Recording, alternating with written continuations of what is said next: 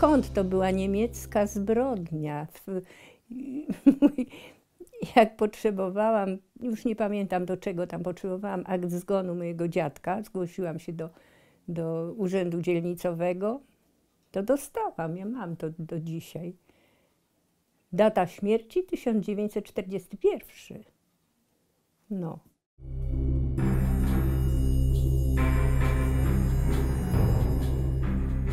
Jeżeli dziadek miał tyle odznaczeń międzynarodowych, tyle zasług, naprawdę to. Ale on był jednym z 21 857 oficerów. Jednym. 21 857 osób. To jest ponad 25% ludzi wykształconych w Polsce. To jest elita intelektualna Polski. To jest też zabieg w pewnym sensie celowy. Jeżeli złączymy to z deportacjami, to wszystko nam się układa tutaj w logiczną całość, bo przecież ci najbliżsi zamordowanych, rodzice, żony, to też jest w pewnym sensie elita naszego społeczeństwa. To jest jeden wielki plan dokonania ludobójstwa na polskich elitach intelektualnych.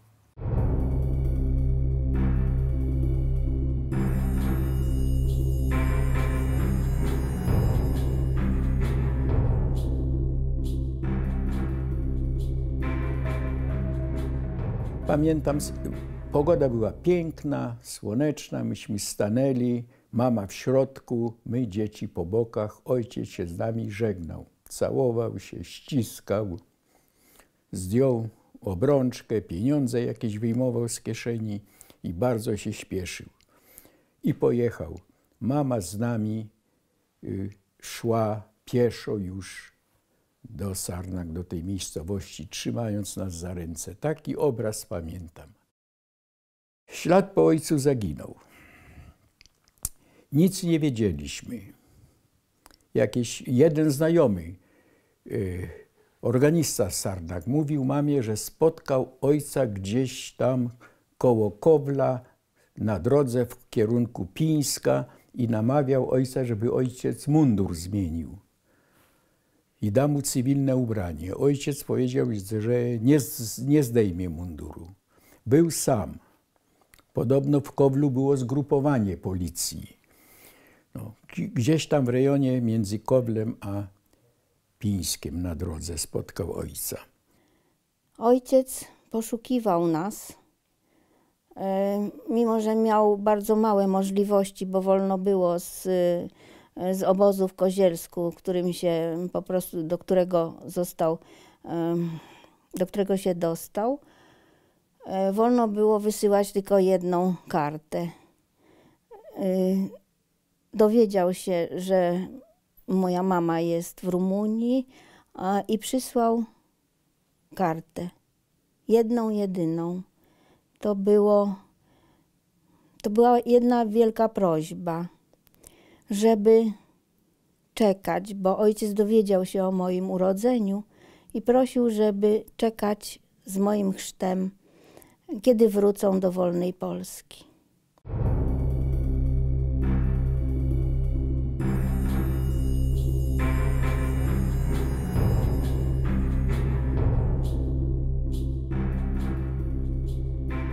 Kiedy już przyjechałam do Warszawy tutaj, do, kiedy się uczyłam, no to naturalnie, że musiałam napisać jakiś życiorys. No więc powiedziała mi mama, pamiętaj, żebyś pisała, że tata zginął w czasie działań wojennych. Nie musisz pisać o tym, że jest kartka, że w Ostaszkowie. Bała się o mnie, żebym przypadkiem nie, nie wyjawiła i żeby mnie nie szykanowano. Więc nie byłam szykanowana, dlatego że ja nigdy nie mówiłam pełnej prawdy, dlatego że po prostu y, wiedziałam, że mam tak mówić, a nie inaczej. Z Katynia przyszedł na Żoliborz, przyszła karteczka, że on tam w tym Katyniu siedzi. Także rodzice moi wiedzieli. wiedzieli. No oczywiście, ponieważ w powstaniu zginęło u nas wszystko dokładnie, więc i tej kartki też nie mamy. Ale była. Była, bo mama mi o tym mówiła.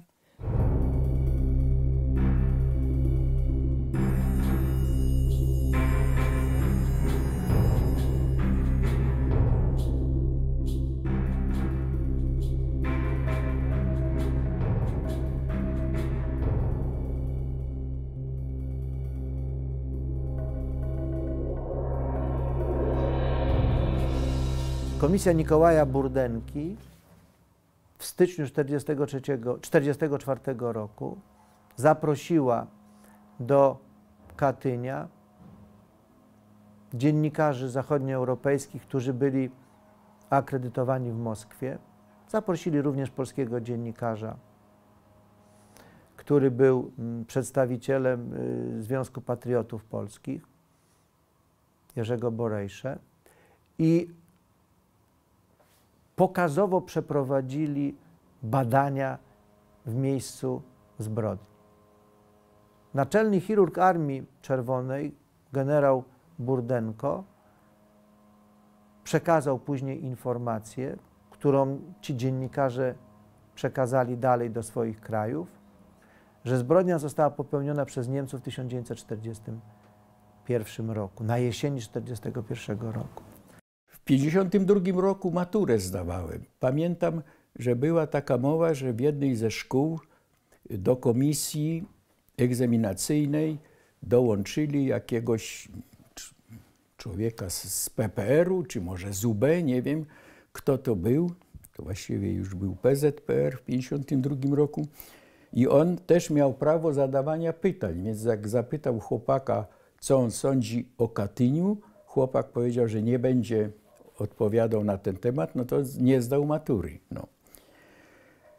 I w ogóle się na ten temat nie mówiło. Ludzie byli za to represjonowani i nawet więzieni, tracili pracę. Praktycznie społeczeństwo nie miało wątpliwości, że od, odpowiedzialnymi za zbrodnie w Katyniu są e, Sowieci.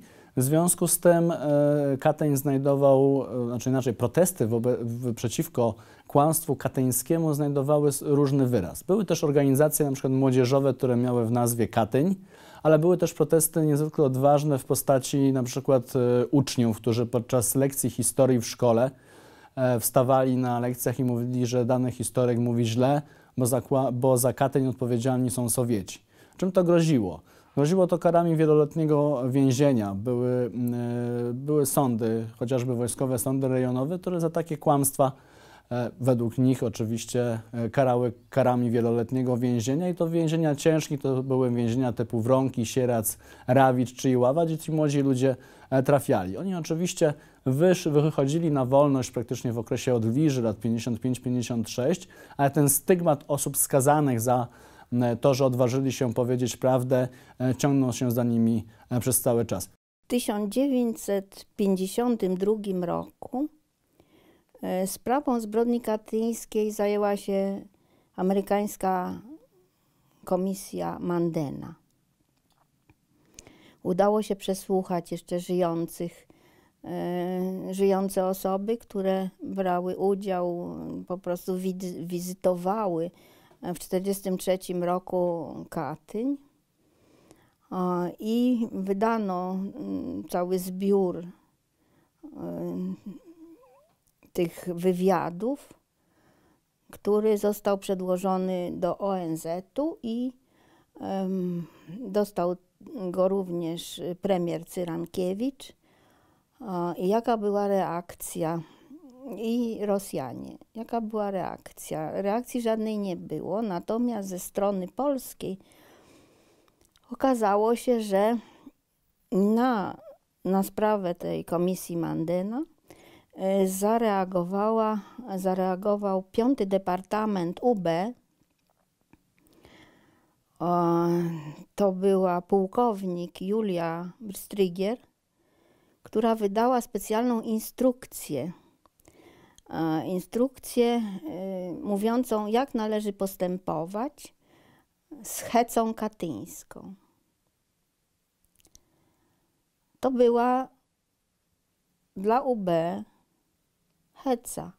Zabić kogoś w tak straszny sposób. O, mogło to być tylko hecą. Ale ta heca miała bardzo takie długie, że tak powiem, ręce, bo w tym samym roku mój dziadek w małym miasteczku został aresztowany przez UB i nie wiedzieliśmy dlaczego i o co chodzi. Teraz mogę powiedzieć doskonale, że było to śledzenie tej hecy katyńskiej. Można użyć określenia, że jakby geneza PRL-u w pewnym sensie związana jest ze zbrodnią katyńską. Została zbudowana na zbrodni katyńskiej. I ta wiedza została jakby y, eksportowana do okresu powojennego. Czyli krótko mówiąc, cały ten okres powojenny był budowany na kłamstwie katyńskiej. Z jednej strony mieliśmy działalność rządu Rzeczypospolitej Polskiej w Londynie, je, tam publikację z głośną książką Zbrodnia Katyńska w świetle dokumentów z przedmową generała Władysława Andersa, wydana po raz pierwszy w 1948 roku, a z drugiej strony mieliśmy opublikowaną, y, opublikowany raport Mikołaja Burdenki, przetłumaczony na język polski, który miał jakby wyprostować kłamstwo Andersa, kłamstwo y, y, y, tej, tego zespołu, który przygotował książkę o zbrodni katyńskiej. To była w pewnym sensie rywa, rywalizacja dwóch y, informacji o y, zbrodni katyńskiej. Na Zachodzie Polacy mieli problemy z przebiciem się z tą prawdą katyńską, dlatego że anglosasi nadal trwali w kłamstwie katyńskim. Amerykanie do początku lat 50., Anglicy prawie do takiego samego okresu jak Sowieci, czyli do końca lat 80. Natomiast w kraju głoszenie prawdy o zbrodni katyńskiej było narażone na więzienie i to długoletnie. Dziadek z tego uboskiego więzienia wyszedł inwalidą.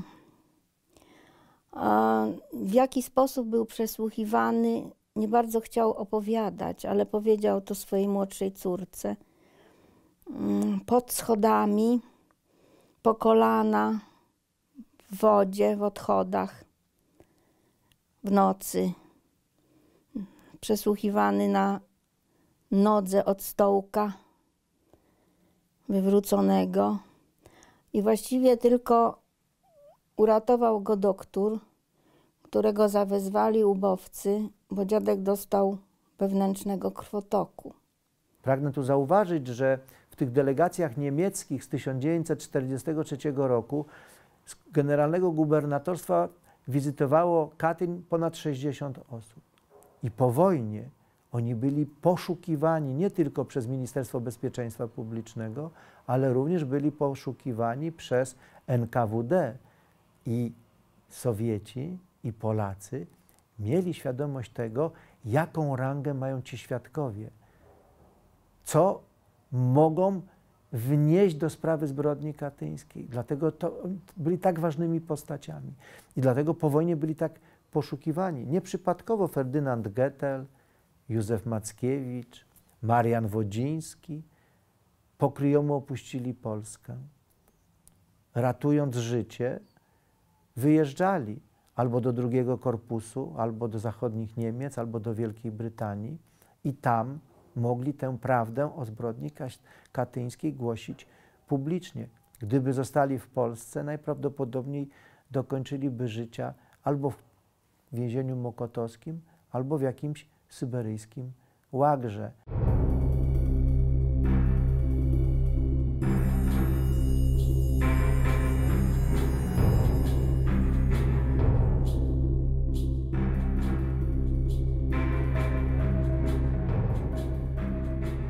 Nagle się zorientowałam, że przecież wszystko, co, co dotyczy Katynia, to jest kłamstwo. Bo nie dość, że Stalin również skłamał, że wyjechali do Mandżurii, to również nie dano nam, mama szukała o tatę y, przez polski Czerwony Krzyż, przez rosyjski Czerwony Krzyż, przez amerykańską Radę Polonii. Wszędzie odpowiadano, że nigdzie w Rosji nie ma, a przecież poszedł do Rosji, w stronę Rosji, że nigdzie nie ma taty na tym terenie. Czyli znowu kłamstwo. Kłamstwo, kłamstwo, kłamstwo. Na pewno ta świadomość, e, e, ta świadomość w latach 80. była dużo większa i ta świadomość dotycząca tego, że za zbrodnie odpowiedzialni są Sowieci, była dużo większa i można było mniemać, że społeczeństwo tym kłamstwom nie uległo. Na pewno była taka grupa osób, która e, absolutnie e, była przekonana, że to Niemcy. Proszę pamiętać też, że władze, jak się spojrzy czasami na różnego rodzaju takie wewnętrzne y, rozmowy, czy na biurze politycznym, czy gdziekolwiek indziej, e, to władze polskie komunistyczne nie miały żadnych złudzeń do tego, że za e, K- Kateń odpowiedzialne jest, za odpowiedzialni byli Sowieci. Tutaj jakby ta, mm, ta odpowiedzialność była jasna, natomiast należało jednak to kłamstwo w imię wyższych ideologicznych celów w społeczeństwie polskim podtrzymywać, a wszelkie możliwe próby jego zanegowania były surowo karane. Istniały zapisy cenzorskie mówiące o tym, że o kłamstwie katyńskim, inaczej, czy o Katyniu nie wolno pisać e, jako ty, e, za które byli odpowiedzialni Sowieci. I każde tego typu e, i e, każde tego typu sformułowania ukazujące się na łamach jakiegokolwiek periodyku czy na jakiejkolwiek książki były po prostu z miejsca rugowane z przestrzeni publicznej w okresie lat 80., kiedy pisano na murach Katyń pamiętamy, albo że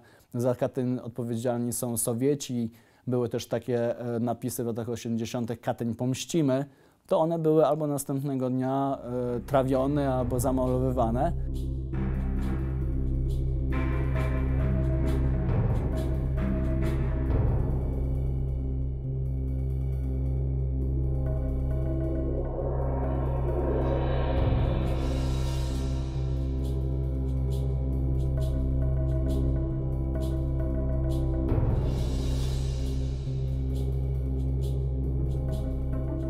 Co ja o tym myślę?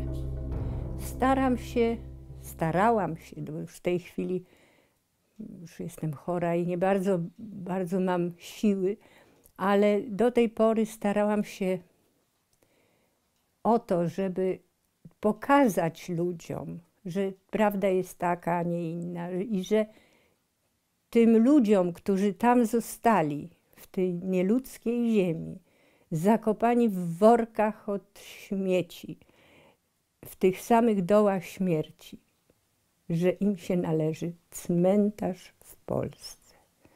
Katyń można uznać za taki jeden, można powiedzieć, e, z, z, jedną z tych podstaw po prostu e, walki podziemnej. Powstanie i Katyń. Te kolejne inne, e, inne, inne martyrologiczne, można powiedzieć, sprawy już e, dużo, dużo, e, dużo mniej. Natomiast te, te dwa, no pewnie też dlatego, że były w taki, a inny sposób rugowane z przestrzeni publicznej i społeczeństwo jakby często, może nie często, ale w jakimś sensie na przegór, jakby pokazać, że ono jednak stoi po tej drugiej stronie niż komuniści, ten Katyń po prostu eksponowały.